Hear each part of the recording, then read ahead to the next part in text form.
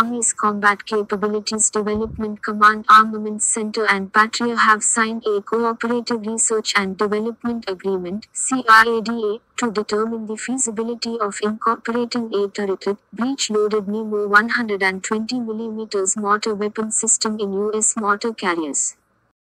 The scope of the agreement is to assess the capabilities of Patria Nemo mortar system, its compatibility with U.S. mortar carrier weapon platforms and fire control systems as well as to evaluate the use of the current U.S. 120 mm mortar ammunition in a breech-loaded mortar, such as Patria Nemo. This agreement is a continuation of U.S.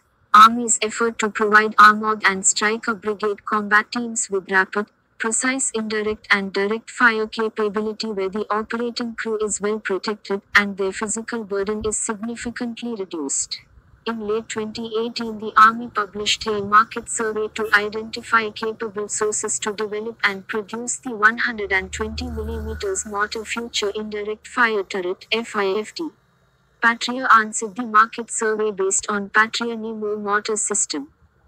Patria Nemo is a turreted, remote-controlled 120mm mortar system with both direct and indirect fire capability and can execute up to 6 grenade multiple rounds simultaneous impact fire missions. In addition to being highly protected, Patria Nemo is light, compact and easily installable on light, tracked chassis, wheeled armored vehicles or Navy vessels. The agreement between the U.S. Army and Patria exemplifies the capability leap that modern turreted mortar systems can introduce to armed forces and illustrates Patria's leading role in this technology area. It is also a logical continuation to the cooperation between Patria and the U.S.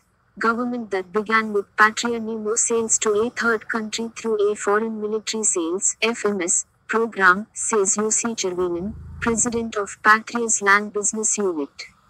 U.S. Foreign military sales is a form of security assistance that authorizes the U.S. to sell defense articles and services to foreign countries.